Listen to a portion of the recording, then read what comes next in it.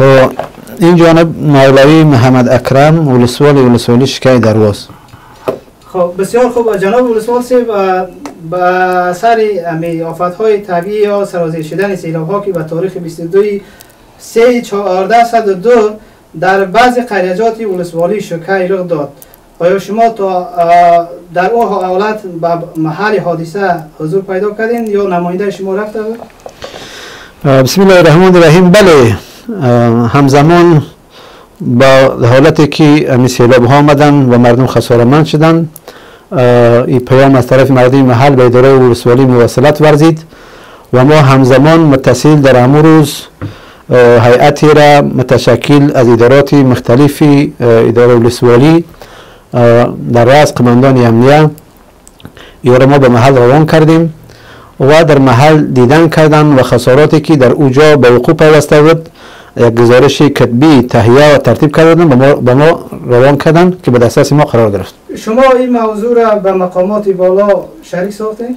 بله ما این موضوع را همزمان به مقامات امارت اسلامی به خصوص مقام محترم ولایت شریک ساختیم و از ولایت هیئت متشکل از ادارات مختلف و در رأس قاری نظر محمد شاکری رئیس آمو دریا با همراه انجینرهای تکنیکیشان به ولسوالی های درواز تشریف آوردن از جمله به ولسوالی شکی و از محل حادثه دیدن کردن.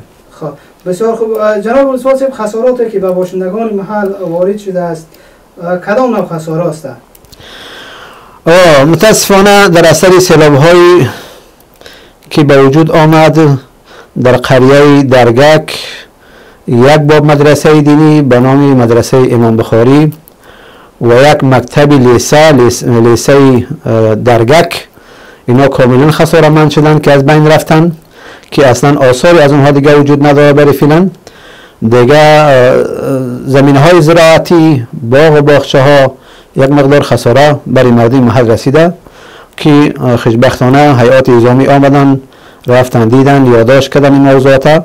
و با ما شریک ساختن و به مقام محترم ولایت انتقال دادن. بسیار خوب. جناب رسول صاحب تا اکنون شما با مردمایی که متضرر شدن کدام نوع کمکی صورت گرفته است؟ متاسفانه قسمی که لازم هست که مردم محل از ما توقع بسیار بالا دارن.